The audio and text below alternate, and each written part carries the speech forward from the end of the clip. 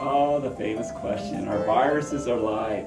Um, well, it depends how you look at what life is. So, why is that a, a hard question to answer? It's really a hard question to answer because no one uh, has a definition of what life is yet. We really don't know. If you ask, you know, what's a challenge in science? It's uh, closing in on really understanding what life is. Uh, and I think we're getting closer and closer. Um, so what do we have? We actually have a list of characteristics of properties of life, but all of those characteristics are not exclusive of life, meaning there's something we all view as something that is not uh, living that has that characteristic. Let me give you an example. Okay, um, I know we're drifting some here, but uh, uh, a lot of people say, okay, life is uh, defined by replication.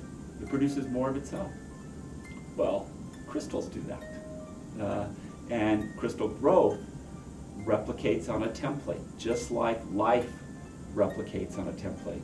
Are crystals alive? I think most of us would say no. Um, but that's commonly used as a, a, property for life. So there's a series of characteristics uh, of life. And viruses actually meet almost all of those characteristics except one. Uh, and that is all life uh, that we know about encodes for a certain set of um, has a certain set of genes that encode for a set of proteins uh, that make more proteins. Um, these are uh, ribosomal proteins. And so far, no virus has been discovered that does that, but all life does that.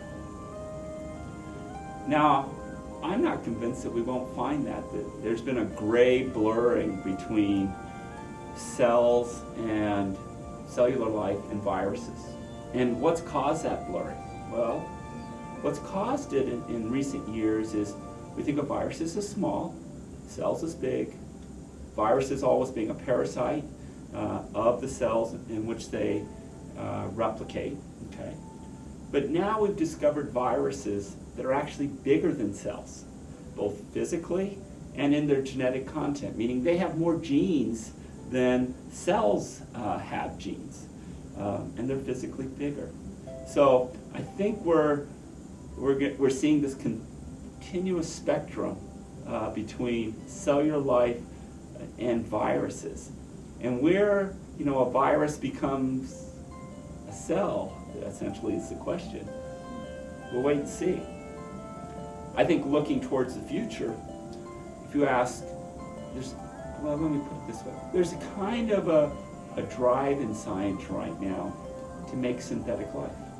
I mean, de novo, starting from test tubes essentially, uh, creating life. And if you can do that, then you have you obviously have some understanding of what life is. And I think the first examples of doing that aren't going to be with cellular life, but we're going to create viruses, which are very lifelike, totally de novo uh, in the near future. And I think this will be very exciting because this will give us a lot of insights uh, into not only how life evolves on this planet uh, and where it's going uh, in evolution, but what life itself is. Uh, so stay tuned.